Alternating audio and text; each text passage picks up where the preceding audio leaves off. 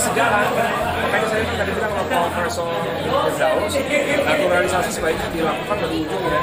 Dari Depok sana kita kita kita kita apa, pasang bambu-bambu yang banyak yang dalam kaitannya eh, dengan pemakaran kemudian macam lah ya. Itu nanti kan ada ahli-ahlinya. Ini kan sekarang kan yang dalam waktu dekat ini kan minimal kan harus ada apa namanya pembebasan lahan dari kita.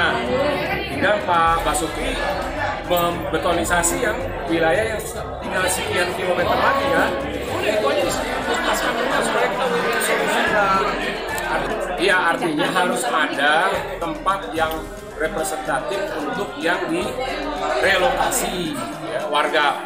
Walaupun itu persoalan yang nggak karena kadang-kadang warga lebih suka tinggal di pinggir bantaran kali kan?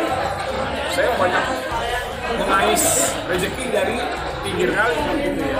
Nah itu perlu ada semacam inilah sosialisasi perubahan mindset kepada teman-teman warga bukan hanya penggusuran tapi kita menempatkan dia kepada tempat yang lebih baik